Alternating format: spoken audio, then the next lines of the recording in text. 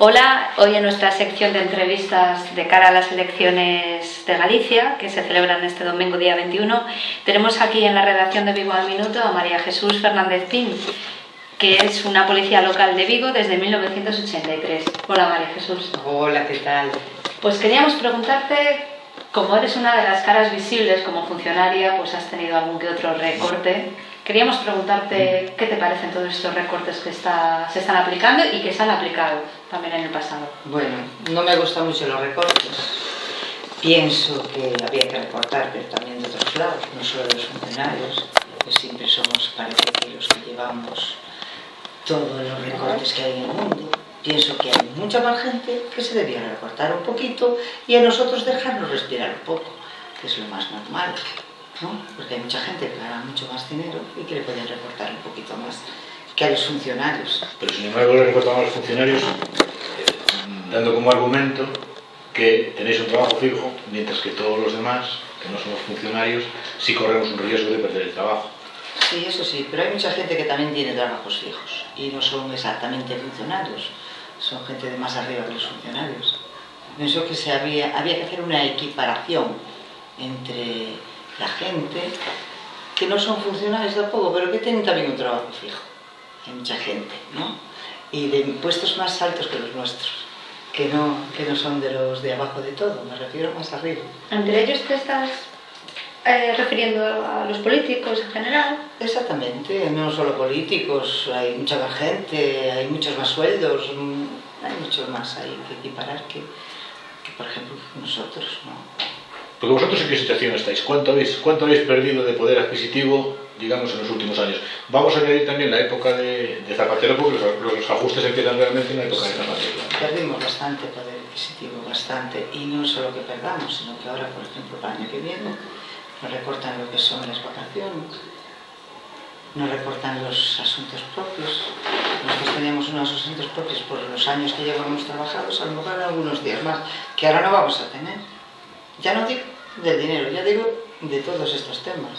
Entonces van recortando, vamos perdiendo, perdiendo cosas que a lo mejor, ojalá, volvamos a recuperar, pero yo dudo mucho. ¿Vas a tener paga extra de Navidad o tú crees que no? Yo creo que no.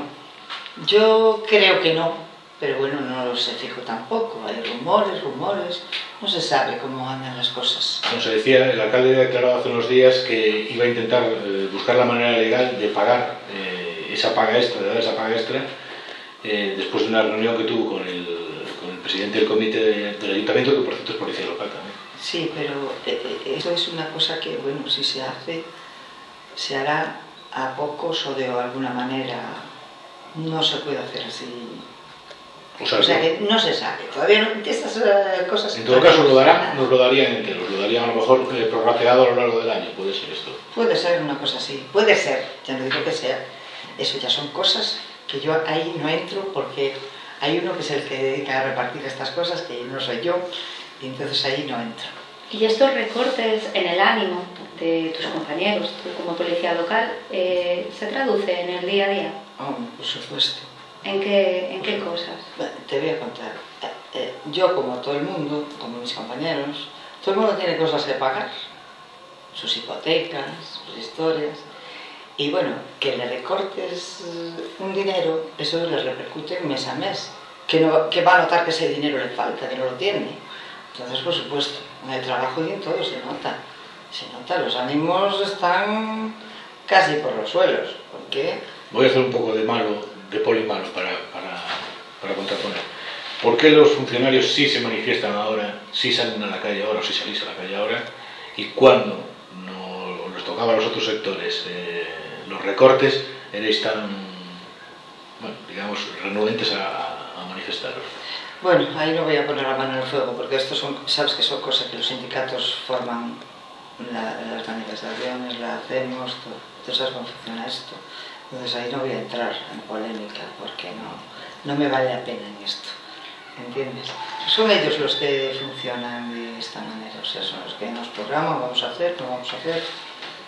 Todo va en función de, de dónde estás y con quién estás. Entonces, ¿Tú crees, lógicamente. tú crees que los recortes a los funcionarios o las bajadas de sueldo o lo que sea tendría que ir en función del puesto que desempeñasen? Es decir, un poco lo que comentábamos antes de empezar la entrevista. Eh, no es lo mismo, digamos, una persona que está en un trabajo administrativo normal y tal, que una persona, pues por ejemplo, como puede ser el caso de un policía, pues que tiene una cierta situación de riesgo. ¿O crees que debería ser igual para todos? Bueno, mira, nosotros los policías, los que estamos en la calle, yo me refiero a los que estamos en la calle porque estuve casi toda la vida en la calle. Yo me siento más policía de calle que de donde estoy. Yo estoy dentro, estoy en, en el interior. Pero yo me siento de calle. A mí siempre me gusta la calle. La calle hoy en día es un poco complicada. Eh, porque hay mucha gente que está, mucha gente en el paro, mucha gente que no tiene dinero para vivir. Entonces eso le repercute en su cabeza y de alguna manera en sus actos. ¿no? Entonces podemos tener muchos problemas al ver un uniforme. Nosotros somos gente que somos de tráfico, o sea, eh, vamos a multar a la persona o vamos a... porque está mal aparcado. Le vamos a quitar dinero al bolsillo a personas que a lo mejor no le llega el dinero para, para pagar el mes. Entonces, estamos bastante más en peligro ahora que antes, porque la situación está cambiando. La situación cambia. Y al cambiar la situación cambia la nuestra, porque nosotros estamos en el medio de la gente. Tenemos que hablar con la gente, calmarla si está nerviosa, actuar un poco de mediadores entre la gente y nosotros. Nosotros vamos a fastidiar el a la gente, o sea, vamos a denunciarlo porque ha hecho algo mal, pero la gente no lo entiende, solo entiende que va a tener que pagar una denuncia, que va a tener que tal. Entonces eh, dice, concho, si no me llega el dinero del mes para pagar ciertas cosas que tengo que pagar principales, ¿cómo voy a poder pagar yo la multa? Y ahí viene eh, la problemática toda que se nos enciende a nosotros. Porque no es lo mismo un bombero, que vale, tiene su riesgo, su peligro. Él va a pagar un incendio. Es una cosa que tiene que hacer en un momento puntual, ¿no? Nosotros estamos todo el día en la calle. Estamos expuestos a muchas, muchas cosas que hay en la calle, a drogas, problemas de alucinaciones de drogas, como pasó a mí una vez, eh, o sea, en plena la puerta del ayuntamiento.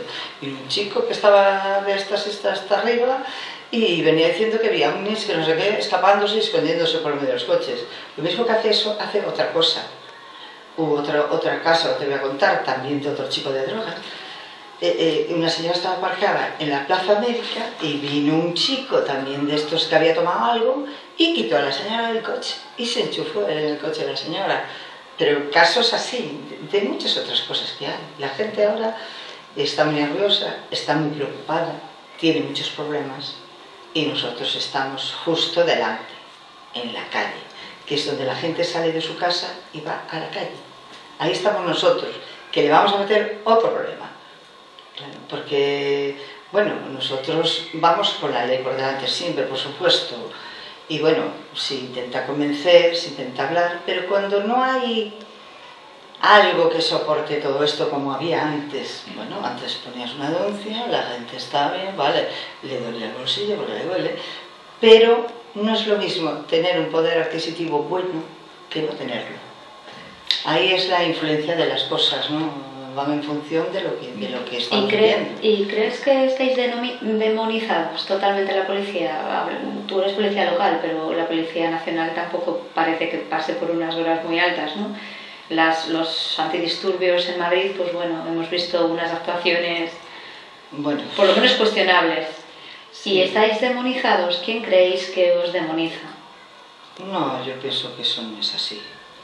Yo pienso que a veces eh, actúas por defensa propia más que nada, porque una situación se puede volver contra ti en medio minuto. En medio minuto se puede volver, eh, sobre todo con la gente joven, no sabes cómo va a reaccionar, no sabes cómo... Sabes que la gente joven hoy en día no es como la, gente joven que había hace años, ¿no? Tenía más valores, más... Ahora no, no hay nada. Entonces no sabes cómo una persona va a reaccionar. Bueno, tanto sea joven como sea mayor, ¿no? Hay diferentes formas de reaccionar. Nunca sabes. Siempre tienes que ir a la defensiva, o sea, defenderte tú, porque si no, van por ti. Eso pienso yo que es lo principal. O te defiendes, hoy en día, o te defiendes un poco, tienes que defender tu, tu cuerpo, tu vida. ¿Tú cuando ves, cuando ves esas actuaciones en Madrid, por ejemplo, yo entiendo que hay violencia eh, a veces por, por el lado de los manifestantes, se ha visto en las imágenes, pero también se ha visto a veces, ya son demasiadas, eh, emplear la violencia por parte de la policía casi sin necesidad. Es decir, una persona que está pasando por la calle, que a lo mejor ni, está metiéndose en eso. ¿Tú cuando ves esas imágenes qué piensas? Mira, yo te cuento, yo soy antiviolencia totalmente. Soy policía, soy antiviolencia, no me gusta. Entonces yo pienso que la reacción mm, de esa gente que es policía ¿eh?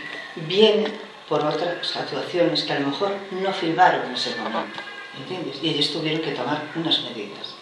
Cosa que a lo mejor no se filma y no se ve, porque no interesa o no tal que se vea. Yo pienso que eh, una actuación de un policía, sea el policía que sea, yo pienso que siempre actúa conforme a lo que hay, a defenderse él mismo, intentando defender siempre a los demás, al grupo. Nunca puede defender a uno si ese puede machacar a los demás. O sea, siempre hay un pro y un contra en, en todas las cosas. Las actuaciones policiales las decide, eh, tienes un orden de, de, Pues de, los de- mandos y de los, los mandos a su vez reciben orden del, del, del concejal en este caso. Exactamente. Nosotros sí. La Policía Nacional funciona de otra manera, me imagino. Yo no sé cómo funcionan ellos. Pero me imagino que tendrá un jefe y que es el que coordina las cosas y todo esto. Pienso que siempre está todo muy coordinado y muy pensado, que no son cosas que hacen al azar. Pienso que siempre hay una actuación porque antes hubo un problema. Y gordo, porque si no, no se actuaba así. Eso es lo que pienso yo, vamos, personalmente. Estamos en época, de, comentaba Ruth, estamos a 48 horas de, de tener que acudir a las urnas. Eh, desde el punto de vista de funcionario, no tanto ya de policía, sino de funcionario, ¿cómo ves estas elecciones? ¿Cómo has visto la campaña? ¿Si la has seguido o si no? ¿O si no has tenido interés en ella? o- Bueno, yo la política no me interesa mucho, la verdad, no me interesa mucho. Hay siempre un gobernante, uno que gana, otro que pierde, no, no me meto en esas cosas, no me interesa meterme en esas cosas. Eh, soy apolítica, no me gusta ir a favor de unos ni a favor de otros. Pienso que hay muchas cosas que arreglar, que las tienen que arreglar, pero creo que va a llevar tiempo, nada más. Al decir que eres apolítica es porque te has decepcionado de la política. No, siempre fue así, ¿eh? O sea, yo no, la política es algo que no me interesa. Pienso que fastidia mucho a la gente. Pero no. Pienso que hay gente que, que- que puede solucionar muchos problemas y que lo, te- lo debería hacer, nada más. Pero no pongo en O sea, que no, sigues, no, otros. no has seguido la campaña electoral. No, prefiero no seguirla. No, es una cosa que no... ¿Sueles ir a votar? ¿O votas en todas las elecciones? Sí, yo voy a votar, sí, sí, por supuesto. Eso no me lo puedo perder. Yo voy a votar. Es que es una pregunta que sí que estamos haciendo porque hemos visto que hay muchas personas que sí han decidido abstenerse, es decir, directamente no ir a votar. Eso, por desencanto o lo que sea. Yo pienso que no es justo. Pienso que todo el mundo debería votar.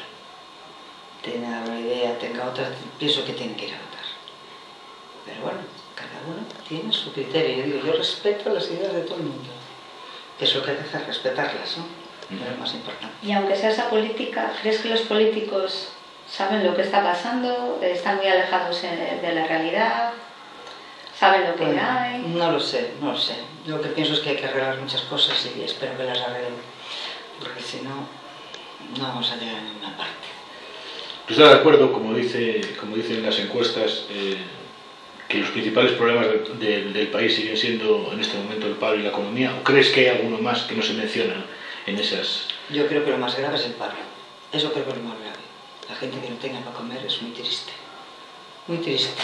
Que tengan, un- a lo mejor, cobrando uno del paro y viviendo cinco o seis del mismo paro, eso es muy triste.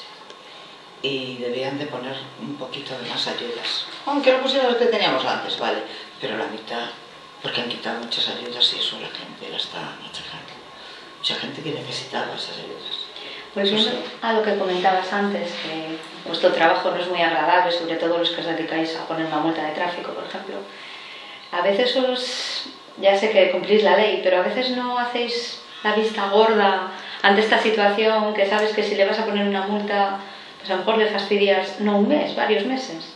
Hombre, yo concretamente te voy a decir, mira, eh, procuro antes de denunciar a una persona esperar un poco, a ver si aparece la persona, a ver si tal, porque hoy en día hay que pensarse mucho esas cosas, ¿entiendes? Y yo me pasó un detalle que no, no os lo voy a contar porque son cosas del trabajo y tampoco entra en cuestión. Pero yo, antes de a una persona, espero un poquito a ver qué pasa. A ver si aparece la persona. Eso, si no aparece, pues mira, que la ley hay que cumplirla. No. Es verdad eso que, se, que es, vamos a decir, o a lo mejor puede ser que sea una leyenda urbana, de que tenéis orden al salir de ponerte el número de multas o esto se lo ha inventado. Mm, para nada, eso no es verdad. Eso no es verdad. Cada persona es un mundo, cada persona es individual, piensa de una manera y cada uno somos un mundo. Tenemos nuestras maneras de pensar, cada policía es, es una persona diferente, todos somos diferentes. ¿no? Igual que los periodistas, cada uno es diferente, ¿no? tiene su personalidad, todo. ¿Cómo, ¿Cómo fue entrar en la, en la policía hace 29 años? Que me parece que debe ser algo distinto entrar en la policía hoy, ¿no? Uy, bastante diferente, bastante diferente. Vigo era bastante diferente. Eh, bueno, yo, de verdad, eh, ha cambiado tanto la cosa que, que- que es increíble. Pero bueno, yo fui una de las primeras que anduvo en las grúas y así. Yo viví aquello, por cierto, me sentó fatal, porque yo entrar en la grúa, yo fui a llorar largo y tendido, porque pensaba que era una cosa que, bueno, malísima, malísima porque eh, es que te enfrentas a la gente de otra manera, ¿no? Eh, vas el coche, parece, bueno, lo que pasa cuando... Yo pensé que era una cosa diferente. Bueno, después al, al ir caminando, ¿no? ya ves lo que hay, que tampoco la cosa es tan seria, que no pasa nada. Y bueno, vas caminando, vas mirando lo que hay. Muchas veces hay que hablar mucho con la gente y, bueno, eh, ser más o menos benévolo, depende de la situación, que te encuentras con unas situaciones muy particulares también, hay de todo. La relación, la relación con los compañeros y la relación sobre todo con el ciudadano, ¿cómo ha cambiado desde que, supongo que hace 30 años no eres muchas mujeres en el cuerpo de policía en Vigo, hasta este momento? Bueno, yo lo he notado relación como mujer, de Sí, sí, sí. Nada, antes éramos, bueno, como un espectáculo, claro, las mujeres Claro. policía, la primera vez, y sobre todo porque yo fui una de las primeras también que salió a las playas. Y aquello era, bueno, fue precioso, de verdad. Con los pantalones cortos y unas, y unas eh, bambas de esas color azules por la playa. Bueno, y andábamos por la playa y la gente se quedaba mirando para nosotras, claro. Sobre todo las mujeres, mira, éramos un espectáculo total. La primera vez que nos vieron, bueno, aquello era... Empezaron que tenemos que ir por la playa primero, después nos quitaron por el paseo. Pero muy bien, después muy bien, en cuanto la gente se va adaptando a los cambios no pasa nada. Al principio es un espectáculo porque es una cosa nueva, que venga una cosa nueva, pero luego todo va evolucionando, todo se van adaptando, como que remedio, claro. Todo cambia. Y más ahora los chicos de playa, que son estupendos. Ahora van estupendos, ¿eh? Ahora no es como antes. Nosotros no teníamos a dónde ir a tomar algo ni nada, teníamos... Era un poco asfixiante, pero era bonito. Estar en la playa es bonito siempre. Perfecto, creo que hasta aquí. Muchísimas gracias por venir, muchísimas gracias por estar en Bueno, gracias a vosotros. Encantada de estar con vosotros. ¿eh? Muchas gracias, María Jesús.